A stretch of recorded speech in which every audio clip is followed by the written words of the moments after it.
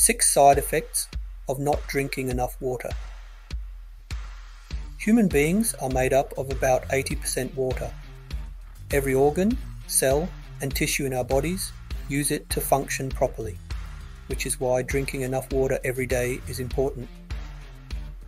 We're made up of water more than anything else, says Marjan Moghadam DO, a family medicine doctor with Henry Ford Health.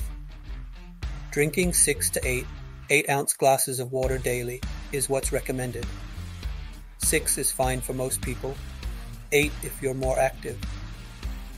And if you drink Gatorade or Powerade after an hour workout, Dr. Moghadam says water is still better. You don't need to replenish your electrolytes after an hour workout, she says.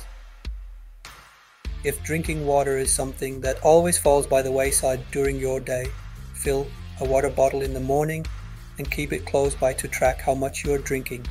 Eating your water in the form of water dense fruits and veggies like cucumbers, melons, berries, lemons, and limes is also a great way to supplement your fluid intake, says Dr. Moghadam. What happens if you don't drink enough water? Whatever you do, make sure you get in those 6 to 8 glasses, otherwise dehydration could cause a whole host of problems. Here are a few side effects. Persistent headaches. One of the first things you might notice when you're dehydrated is a throbbing headache. The good news?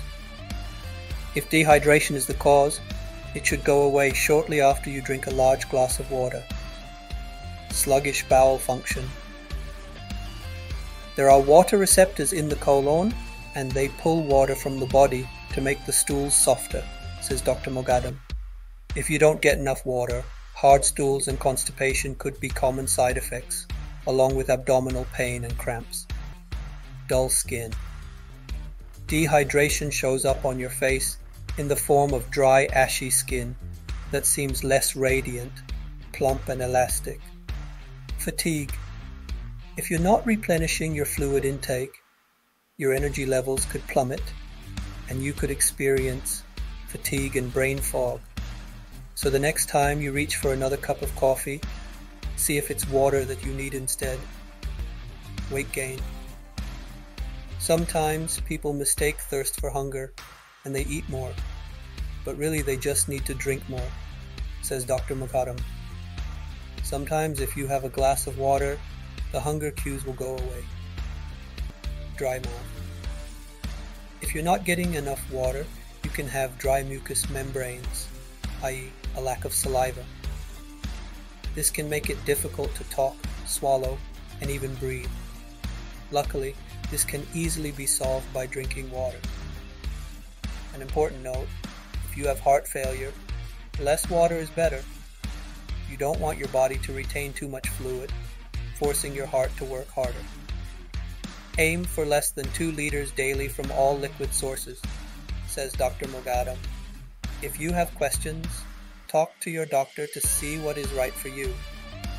For everyone else, while 6 to 8 glasses is preferred, going to far above and beyond that won't help you. In fact, drinking too much water can lead to brain swelling and fluid overload, says Dr. Moghadam. Find a happy balance between six to eight glasses daily to stay healthy.